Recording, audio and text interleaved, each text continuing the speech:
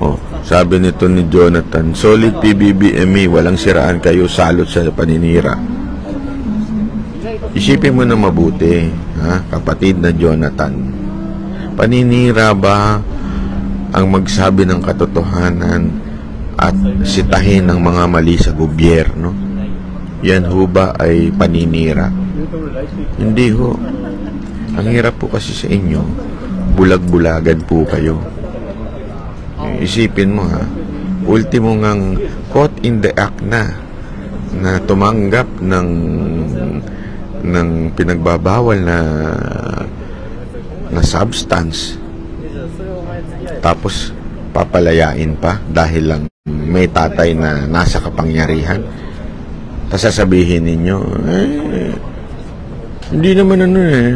Husgado na nagsabi niyan eh eh, bobo kayo. Yun lang masasabi ko sa inyo. Talagang sarado isip ninyo. Ngayon, kung hindi mo pala kursonada, yung sinasabi nating mga katotohanan, at sa tingin ninyo, eh, ito isang kasinungalingan, bakit mo ako pinanunood? Pinagnanasahan mo ba ako? O, wag ganun. Hindi tayo talo, Brad. Ha? Huwag kang manood kung hindi mo kursonada. Ganun lang kasimple yun. Ba't ka nandito tumatambay? Anak kayo ng tutsa. Di ba? Oh, ito, Albert de Guzman. Yan ang pinakamatalinong komento. Kamuting kalbo. Talino. Grabe, ang lalim nung brad. Di ko mataro.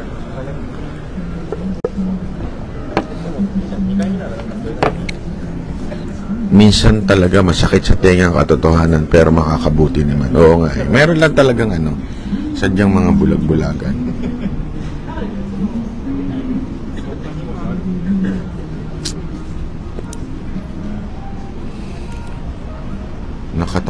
Nakatatak na sa isip nila yung paninira kay BBM. Hmm? Ah, na, laging paninira. Hindi, hindi. Yun nga, yun nga, tama kayo dyan. Minsan kasi pagka pinuna mo sila, pinuna mo yung gobyerno, isipin nila, sinisiraan nyo lang, sinisiraan nyo lang. eh." Pero huwag kayo mag-alala. Ito lang masasabi ko sa inyo. You deserve it. Pag nagmahalang rice, you deserve it pag nagmahal ang bilihin, you deserve it. Ha? Ngatain nyo yan. Ngalingalin nyo yung mga pagkain na mahal sa Pilipinas. Okay? Because you deserve it. Okay? Yun lang. Sabi ni Albert de Guzman, kamuting kalbo, mahina na ba kita mo? Ah, parang hindi. Kung mahina ang kita ko, wala ako dito. Diba? Kaya ingit, pikit ka na lang. Asan ka? Nasa kubul mo. Asan ako? Ay, gusto mong barahan? Oo. Diba? Sunog ka. Sunog ka, Brad. Mahina na ba kita ko? Asan ako? Subukan mo. Ito lang. Ito lang sabihin ko sa'yo. Subukan mo magbakasyon ng 30 days dito sa Japan. Kwentahin mo gastos. Kung mahina kita ko. Hindi siya nag-ano ha. Binabara ko lang tong animal na to eh. Binabara ko nga tong animal eh. Bobo eh. Oh, sabi ni Albert, hubarin mo yung sombrero mo. Be proud na kalbo na ko. Mukhang pagnanasahan yung ulo ko. Gusto niya tinitingnan-tingnan yung ulo. Ah, kalbo. Ah, ah, ah. Siguro, gumaganon-ganon. Eh, no?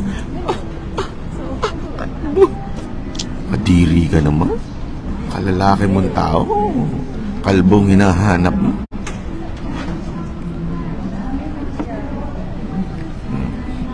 Eh. Asa na yung 20 pitot na bigas? Eh, yun nga ang problema eh. Okay lang sana kung ang apektado niyang sobrang mahal na bigas, sobrang mahal na sibuyas, lahat ng mahal na bilihin sa Pilipinas. So sana kung apektado lang yung 31 million na bumoto, hindi eh, pati tayo apektado eh. Yung katangahan ng iba na apektuhan tayo, damay-damay. Uy, watching from Yokohama, Mitsubishi Emily Mendez.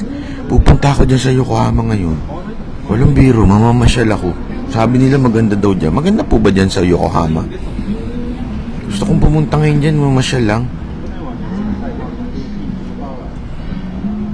Mitsubishi, pasagot nga po ako. Ano bang magandang puntahan dyan sa Yokohama aside from Don Quixote?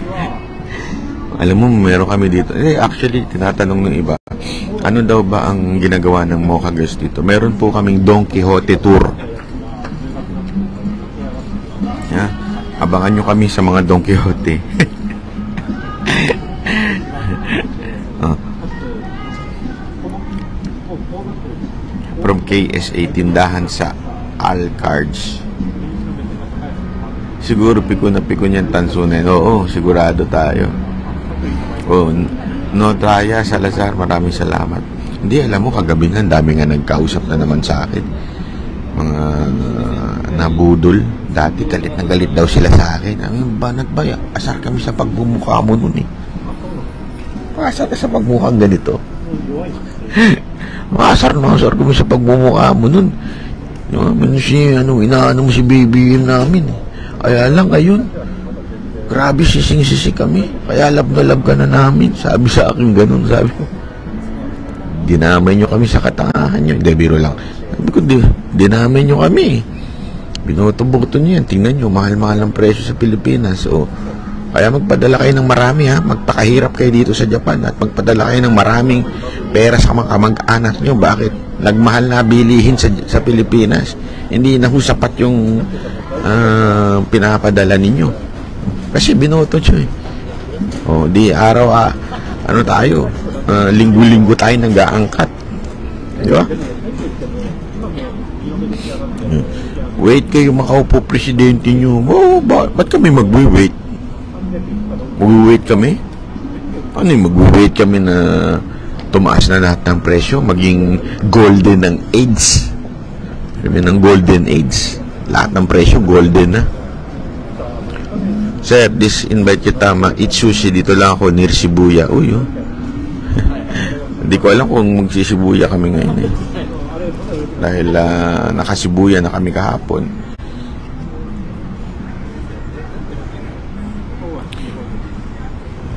Sabi nito isa, uh, five minutes darating na ako.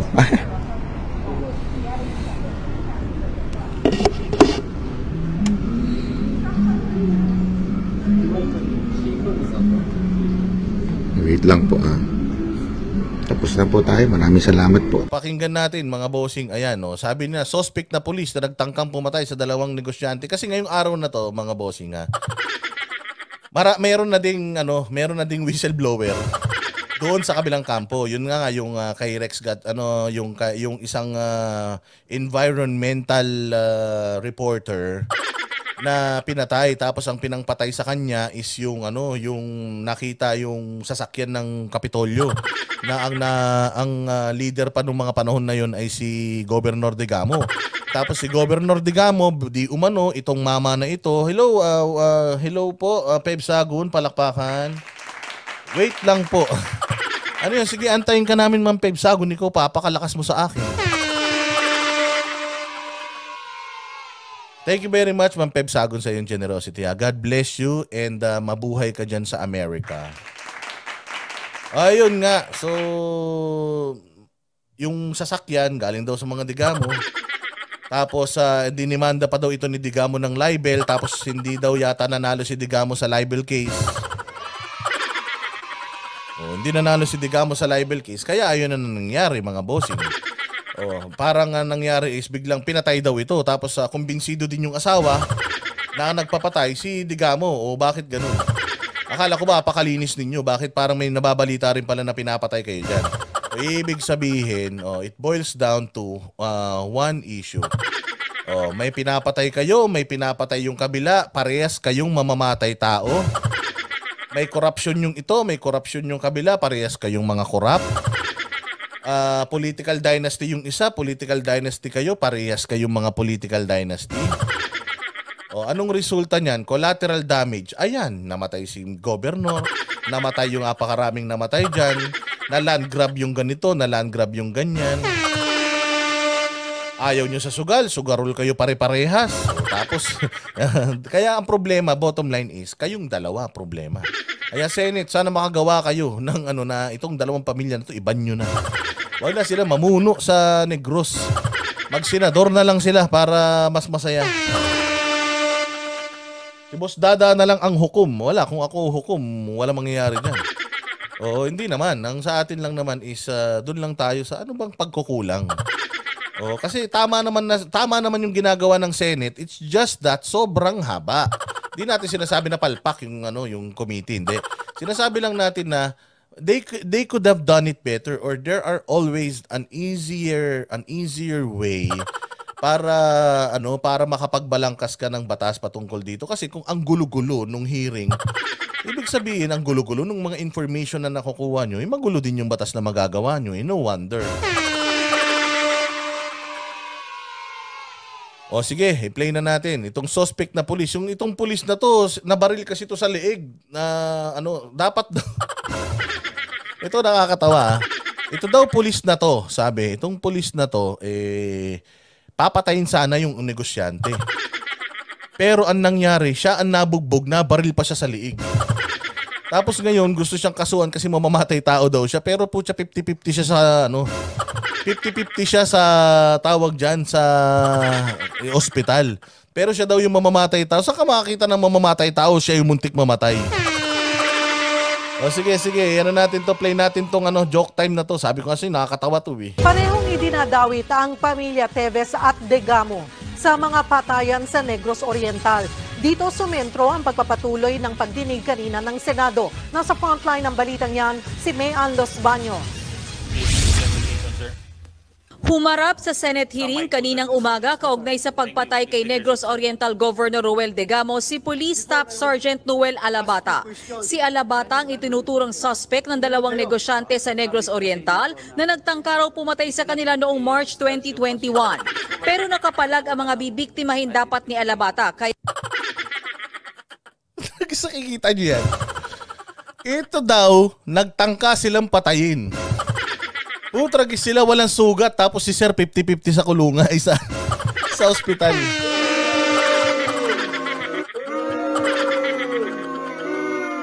Sakit sa ulo. kaya siya ang nabugbog, nabaril sa leeg at dinala sa ICU. Pucha, first time to sa history. Yung mamamatay tao, ah, siya yung muntik mamatay. Taki mo ICU, intensive care unit. Walang hiya naman talaga. Oh. ang gunman na gulpi namin. Yan yung si Alabat. Kayo dapat may kaso. Binugbog nyo eh. Hindi nyo nga binugbog, muntik nyo pa pinatay, binaril nyo sa liig. Tawan-tawa ako dito nung napanapanood ko to kanina. Sabi ko, walang iya naman talaga oh. Pucha, joke time naman talaga tong mga to. Mantakin mo, yung papatay sa kanila, muntik nila mapatay. Tapos sila daw yung gusto patayin. Sasabihin ng pulis, pucha, pa, paano ko sila papatayin? Ako nga papatayin eh.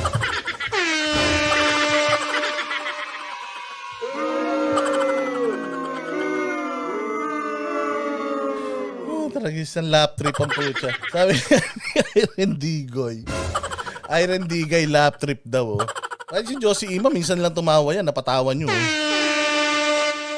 Okay, pinapat ano po, ah, ano po, ah, ba't kayo nandito sa Senado? Kasi po kami mga negosyante, gusto po kaming ipapatay.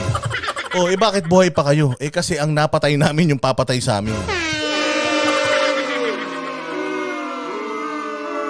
Eh pucha, ba't nandito pa kayo? Hindi naman pala kayo namatay. Buhay na buhay naman pala. Wala naman pala nangyari sa inyo. Kayo pa pala nakadisgrasya. Anong inaano nyo rito sa Senado?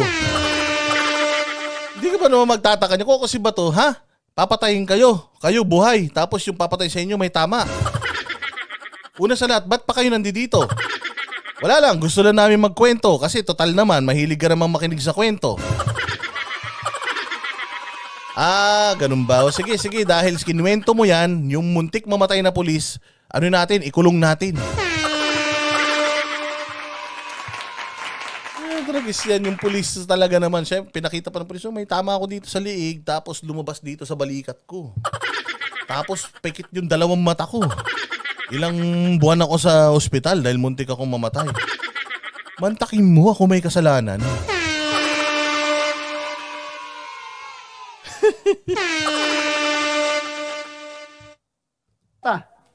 yung gunman. Yes, yan Yun yung po. police. Kabaril, halika tingnan mo. Mismong si Senator Bato de la Rosa ang nag-inspeksyon sa katawan ng pulis. Naniniwala ang mga negosyanteng sina Sandy Tinguha at Chase Huwag niyong baliin yung liig. Ito naman si Bato, sa iyan yung sinasabi niya eh. Sige, napapuntahin niyo rito, babaliin ko yung ulo ng liig niya. Huwag niyong ano, huwag niyong baliin yung liig. Tingnan niyo lang yung binaril lang nga yung tao eh. Tinutulak-tulak niyo pa yung ulo. Ong na may koneksyon si Alabata kay Congressman Arnie Teves na itinuturong mastermind sa pagpatay kay Governor Digamo. Gusto raw kasing agawin ng kongresista ang mga negosyo nila. Putya, gustong agawin yung negosyo nyo. Ganyan pa rin sa probinsya nyo ka-backwards.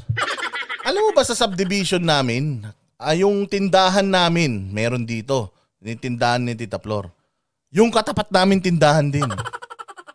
Yung katabi namin tindahan din. Sa isang buong street namin, mga tatlumpung bahay yung may tindahan. Bakit aagawin yung negosyo yung manu? Kasi may negosyo daw siya ng fried chicken.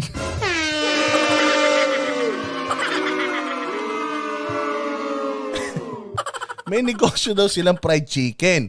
Gusto daw agawin ni Tebes, anak ng Tokwa naman talaga. Anong meron sa fried chicken nyo? Bakit gustong agawin? Ano ba, panabong na manok ba yung ginagamit yung manok dyan? Kasi kung talaga nga agawin or gustong patumbahin yung negosyo nyo, gagawin ng mga Tebes, magtatayo sila ng fried chicken sa tabi nyo.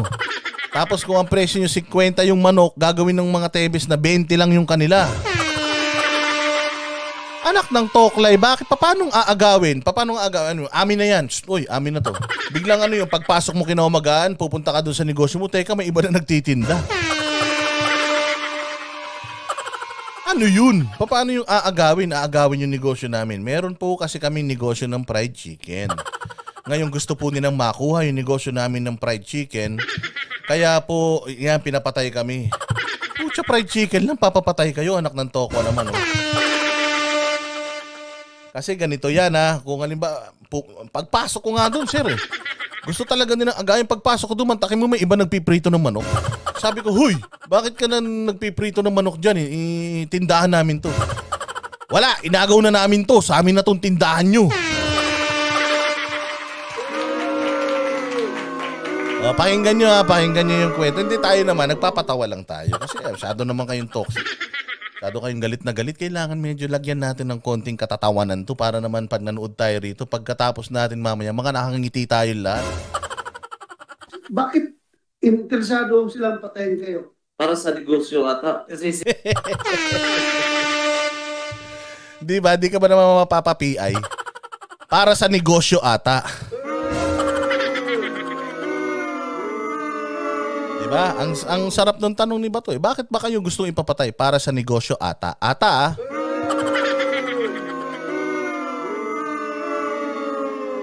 Pero syempre, pipick up ni Bato yan. Ata ah, pero pipick up niya yan. Si Arnie, Mr. Chair, meron siyang Arnie Chicken. Pucha. Meron siyang AFC. Alam mo yung AFC? Arnie's Fried Chicken. Meron siyang Arnie's Fried Chicken, AFC. Pucha, yung KFC nga, hindi nagreklamo eh. Ano yung KFC? Ah, Kentucky Fried Chicken? Hindi. Kanto Fried Chicken. Inaagaw. O, sige, tuloy natin. Tapos gusto niya yung kunin yung ano namin, yung business namin na tosinuan po. Tosinuhan. So, meron Arnie's fried chicken, si Ma Arnie, yung kanila tosino. Si Arnie naman, hindi ka na lang maggawa ng sarili mong tosino. Bakit naman kailangan mo pang agawin yung tosino nila? Eh halimbawa Arnie, kung ako si Bato rito eh. Kung halimbawa ako si Arnie, kunin ko, anakawin ko yung mga tosino nyo. Eh wala namang kayong ano, wala namang kayong recipe dun. Ano silbi nun pag nailuto ko lahat ng tosino nyo, di wala na. Kailangan ang nanakawin ko sa inyo yung recipe, hindi yung mismong tosino. Teka, Arnie Tebes, bakit yung tosino na yung gusto mong agawin? Ba't hindi na lang yung tosino ni Pampangas Best? Ni Fantastic? Tsaka ni ano, ni sino pa ba yung masasarap na tosino? Sabi ni Charlotte Malbarbel, pucha naman, no? Ano ba yan? Chicken in tocino? Ang babaw na Pucha, ipapapatay ka dahil sa tocino. Dalawang mama namatay dahil sa tocino. Putragis yan.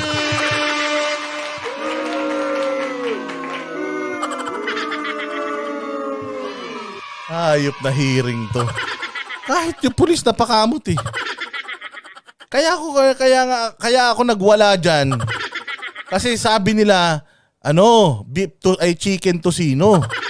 Eh Muslim ako, pinakain ako ng pork tocino, nag-alboruto ako diyan. Eh binugbog ako, binaril pa ako sa liig. Di ba? Sabi ko kasi kung gawa-gawa lang ng istorya, dapat si Kuya Pulis gumawa ng istorya. Kumain ako dyan, kumain ako. Sabi ko, pa-order ako ng ah, tosilog. Pero ano ko eh, ah, hindi ako makain ng baboy. Sa badista kasi ko. Kaya ano, chicken tocino. Tapos nung inunguyan niya na, na naubos niya na, Pucha, na-realize niya, baboy yung pinakain sa kanya. Galit siya. Mga hayop! Tauhan ako ni Tebes! Pinakain niyo ako ng baboy! O, tapos yun na, nagrambulan sila doon, nabugbog siya. eh. Nabaril pa siya sa liig, ganap na animal na yan. O, tapos ano, nung na inimbestigahan, ano yan, Ah, ba- bata ni Tebes yan, gusto agawin yung, tino- yung ano namin, yung tosino. Pucha, akala ko ba sobrang yaman ng mga Tebes na ito? Ah, akala ko ba mayroon silang ah, gambling, mayroon silang kung ano, droga, pasugalan na isabong. May mga helicopter pa nga itong mga to. Bakit mga agaw ng tosino? O sige, pakinggan natin. Si Bato naman, naniwala naman dito. Ano ba naman yan? Actually po, sakit Nang questionin ng mga senador si Alabata, uminit lang ang ulo nila dahil sa paiba-iba nitong pahayag. Bakit po napunta po ako doon? Na, Pucha, tinatanong niya tuloy si Bato. Bato, bakit ako napunta? Bato, hindi ko alam. Gago kayo nagpunta rito eh. Hindi, that maintindihan nila si Sir, 50-50 to, muntik mamatay to. Siyempre sa dami ng anistisyang napunta sa utak niyan, magiging makakalimutin na yan. Kayo naman, oh. may CCTV po. Yung pinalabas sa CCTV doon, hindi yun po ako. Hindi yun ako po yung CCTV. Yung gitampered nila. nag-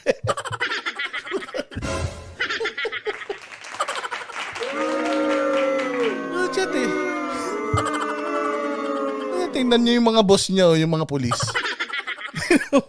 Sabi siguro ni Istomo, puta, ayaw ko na mag ano. Ayaw ko na mag PNP chief. Pucha, ganito yung mga pulis ko, parang mga siraulo.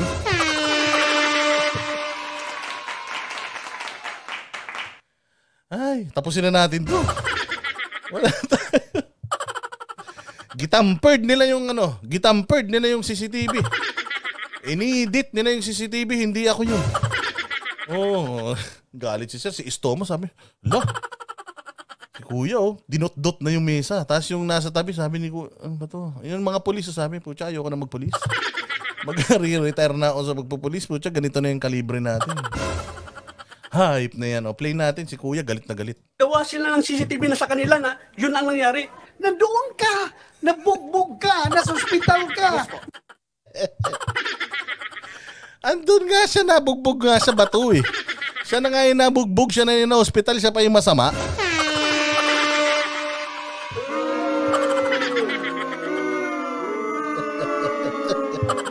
Siya nagalit na si Bato? Kumintab na yung bunbunan. Oh. Sabi niya, oh, hayop ka? Sinasabi mo wala ka doon, nandudong ka. Bunog, muntik ka nga mamatay, di ba? Ayun, nandun, anong sinasabi mo, ba't ako nandun? Hindi ko alam sa'yo, ikaw nagpunta ron eh. Nabugbog ka nga, binaril ka pa sa liig, buti nga buhay ka pa ngayon. Napunta ka sa istasyon! Yes po, sorry po. Oo, kaya nga, klaruhin natin ito. Dito. Sabi rin ni Alabata, hindi totoong nabaril siya. Pero sa record ng doktor na gumabot kay Alabata, may tama siya ng bala sa liig. Nakita rin daw ni Senator Bato ang peklat ng exit wound. Isa pang ikinabigla ng mga senador, nakapagpiyansa na 120,000 pesos ang suspect pero hindi raw alam ni Alabata kung sino ang nagbayad nito. Talaga kanino mo sino sinasabi yung totoo? sa akin po. ha? Hindi ko po talaga alam kung sino yung nagpensa sa akin. Ucha, ang galing si Robin Hood. Si Robin Hood nasa ano na ngayon, nasa Negros. Mantakin mo pinyansahan 120,000. Tapos nung pinyansahan siya, di niya alam sino nagpiyansa sa kanya. Ang galing. Ay ko nga sa'yo, pucha, ang problema rito, pati pulis eh. Pati pulis parang ewan na eh. Si, siyempre mga sino nagpiyan sa'yo? Ewan. Bakit pa paano di mo alam? Pinyansa ka di mo alam. Hindi ko alam. Sila nga din eh. Kanina pa sumbong na sumbong sa'yo. Wala na may ebidensya. Bakit kapag ka ako sinasabi ko di ko alam, di ka naniniwala?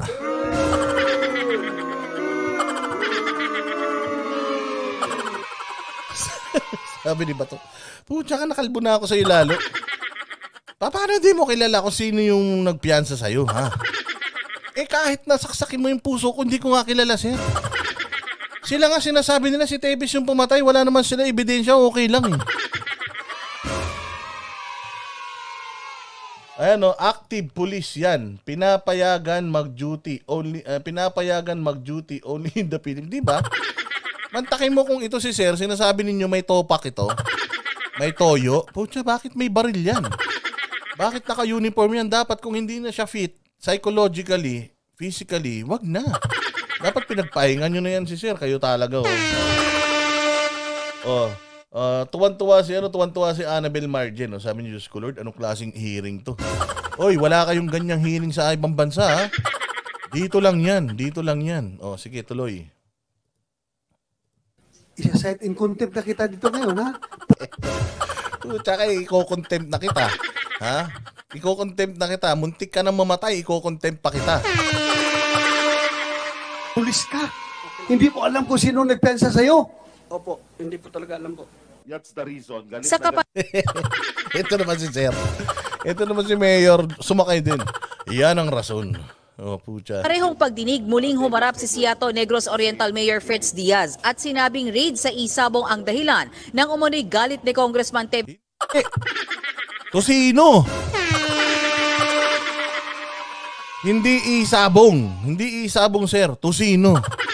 Ako naniniwala, mas naniniwala ako dun sa Tosino. Walang Joe, pag-uusapan naman tayo sa, ng buong bansa nito. Grabe ang nangyayari sa Pilipinas ngayon, naghihiring sila. Sobrang tindi ng mga akusasyon. Ano yun? Agawan ng Tosino. Tebes kay Governor Degamo. That's the reason. Galit na galit yung mga Tebes kay Gob. Kasi Kasi, kaya galit na galit yung mga Tebes kay Gob kasi yung tosino ni Gob mas masarap. natigil yung faucet, isa sa faucet of money ni sila, sir. Nagbanta pa raw si Tebes na kakasuhan ng ilang tauhan ng NBI na nagsagawa ng raid sa umano'y operasyon ng Isabong sa Cebu. Nagtangka pa umunong manuhol si Tebes ng taga-NBI. Hindi Ulit. kita isasama sa kaso ng mga tao mo pag in-negative mo ang mga order sa iyo na mag-operate ng isabong operation. Kaya utos ni Bato, ipasara ang mga umano'y Isabong operation sa Negros. Ah, di ba to? Lasunin natin lahat ng manok dyan sa Negros Oriental tsaka sa Occidental. I ano na natin, itinola natin tsaka adobo, tsaka kaldereta. Para wala nang wala nang isabong, pati yung normal na sabong mawawala. Oh, lahat ng mga ano ipagbawal na po yung pagbibreed ng manok. Tingnan ko kung kaya nyo. Kasi magbibreed ka ng manok, anong gagawin mo ron? Ano? Ah, alaga mo sa bahay parang aso? Eh, araw-araw. Hindi, kaya ako nag-aalaga ng manok kasi ah, ah, ginigising ako niyan araw-araw, tumitilaok yan. Senator Bato, gumawa kayo ng batas na lahat ng ano, para mawala na sabong sa Pilipinas. Ipagbawal na po natin yung paglabas, pagpasok at pagbibreed ng mga sasabunging manok dito sa Pilipinas. Palakpakan. Kapag kayan bato, nagawa mo, ipinagbawal mo yan, ah, ang pagbibreed ng manok, mawawala una sa lahat yung isabong. Pangalawa, mawawala yung tupada. Pangatlo, mawawala yung mga sabong dyan sa yung malalaking mga kolisiyum. Ewan ko lang kung kaya mong gawin yan kasi ang yayaman ng mga may-ari niyan. Oh, sige, go. Ang galing naman niya. Talagang uh, confidence siya na hindi, niya, hindi ito mapapahinto. So ngayon, hinahamon ninyo niyang capability ng law enforcement community, magtutulong-tulungan kayo. Habulin niyo lahat ng isabong dyan. Teka. Sir, kailangan pati yung manok na panabong dyan sa barong mo, lasunin natin yan. Ayan o, nakita nyo yung bayo- barong ni Sir, merong manok. Texas yan, Texas. O, di ba? Huwag mong kanain yung isabong. Kasi yung isabong, Senator Bato, ang target po niyan, ilang mga tao lang. Ang, ah, ilang tao lang? Ilan lang ba may operation ng isabong? Tatlo lang na malalaki sa Pilipinas. Tatlo lang. Tatlo lang apektado niyan. Ang gawin natin, pagsamasamahin ninyo yung mga kapangyarihan nyo, tapos gumawa tayo ng batas dahil bawal ang ano, eh, dahil ayaw na natin ng sugal, tanggalin na natin lahat ng manok. Lahat ng panabong na manok. Tanggalin na natin. Ah, bawal na po magano lahat ng mga cockfighting ano ah, farms diyan, pata ah, ano na natin, sara na yan. O yung mga bilihan ng mga Thunderbird, yung mga tawag diyan, yung mga vitamins na manok, isara na yan. O sigurado magkakaroon ng sabong ng mga pato. Oo. Oh, na, na, nadali yung barong ni Bato, di ba? Ayan oh, may manok siya eh.